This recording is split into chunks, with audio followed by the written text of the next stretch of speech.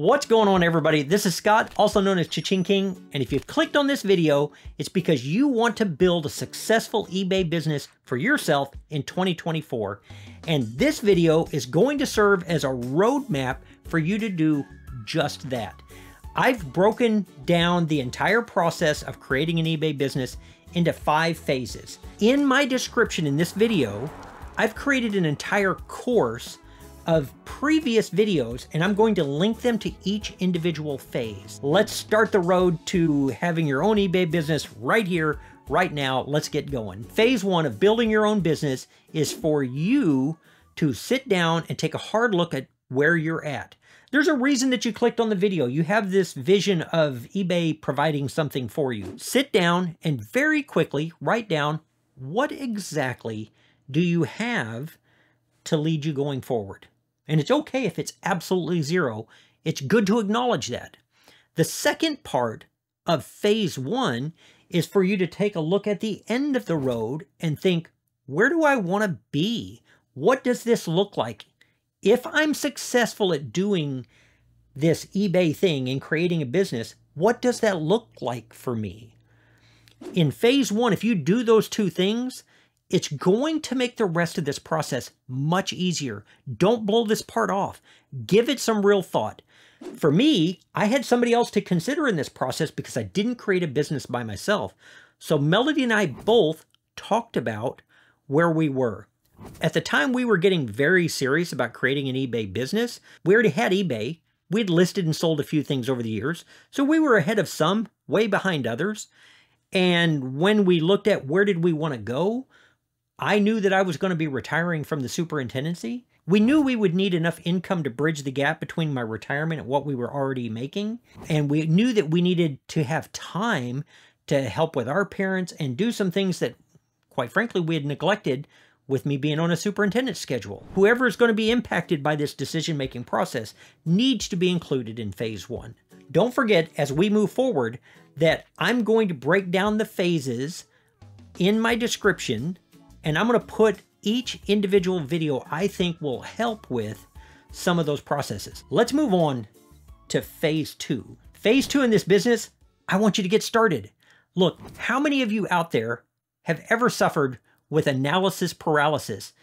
You watch the videos and you, you study and you think on it and you think on it and you think on it and you never actually get started. And I'm going to tell you, just let it go.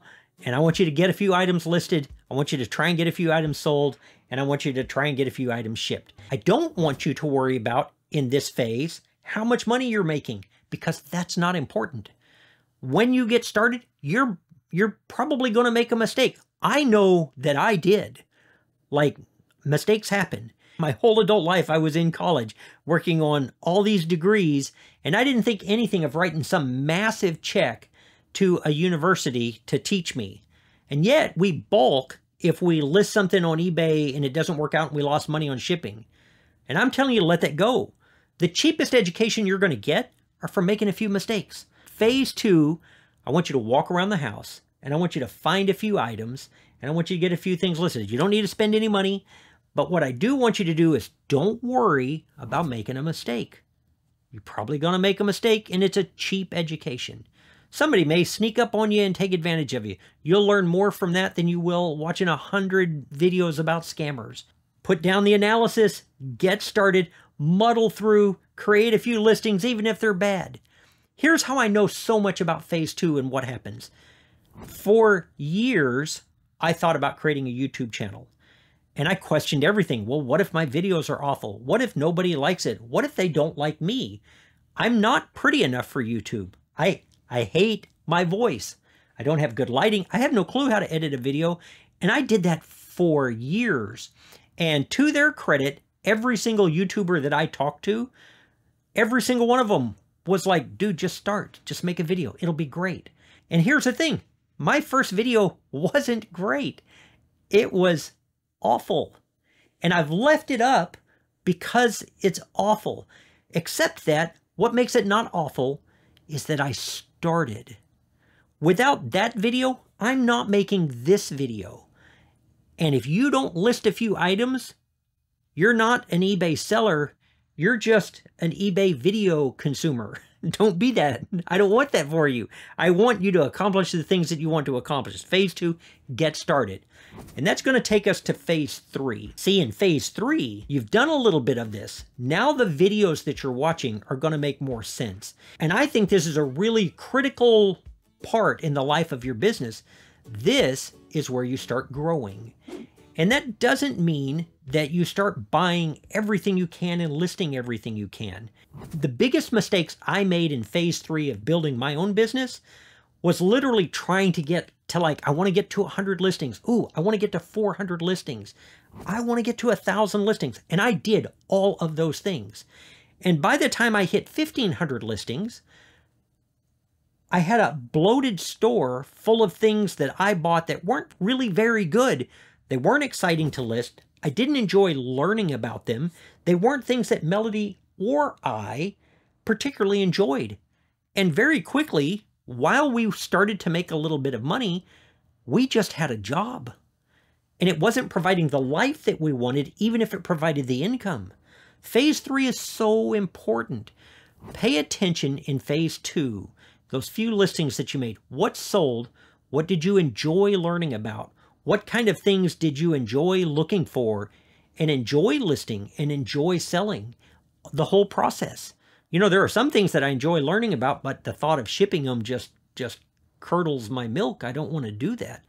And so phase three is for you to hone your business because that will make growing your business so much easier.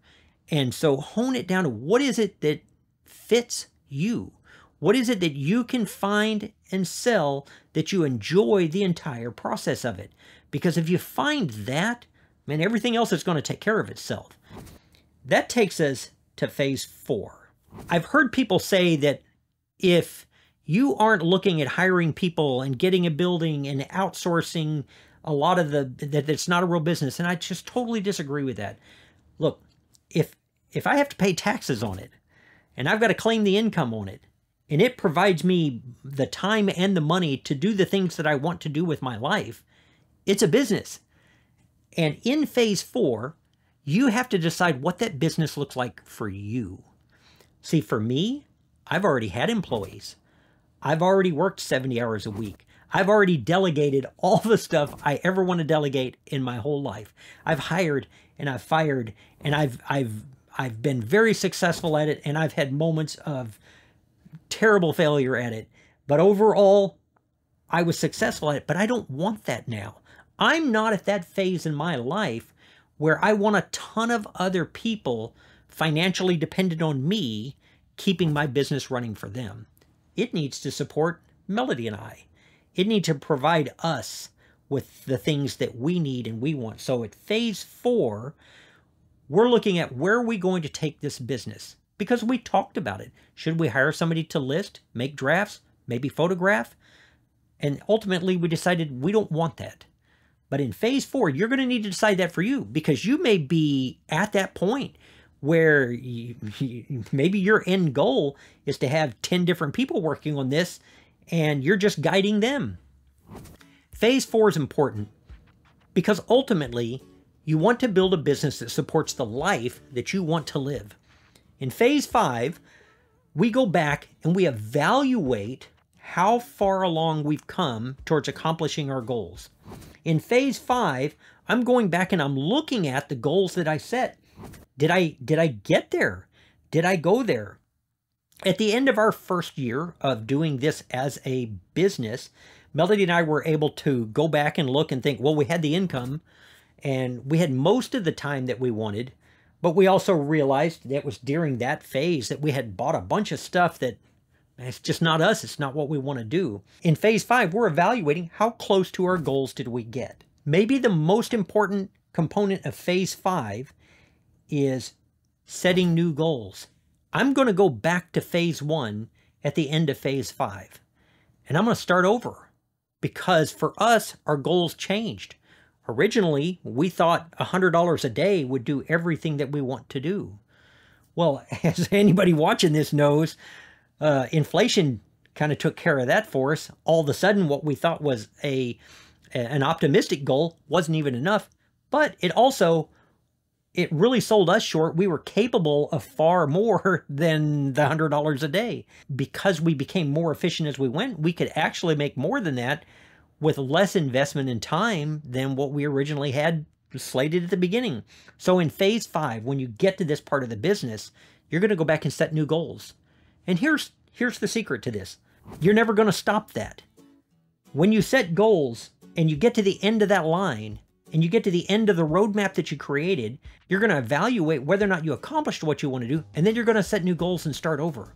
My hope for a course like this, for creating all these videos, is that somebody out there watches this and they find the hope and help and encouragement they need to take control of their own future to where it isn't dependent on anybody other than them. That I give them what they need to put themselves in control. I appreciate you guys helping me accomplish the goals that Melody and I have. So thank you guys very much. I'm going to see you real soon on the next one. Bye.